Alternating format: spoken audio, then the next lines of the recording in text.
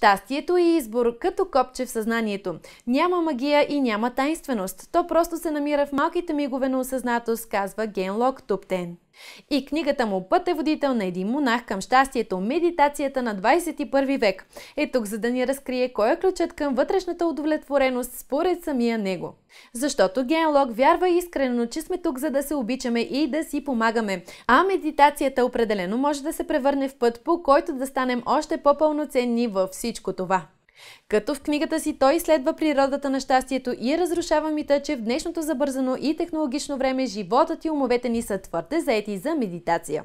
А също ни дава яснота за въпроси като тези. Наистина ли състоянието на щастие е наше естествено състояние? Кои практически методи ще ни помогнат да изберем щастието?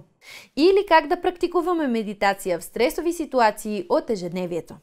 За това време е да поемем по пътя към вътрешната си революция в отношение на собствените си мисли и емоции с книгата Пътеводител на един монах към щастието – медитацията в 21 век.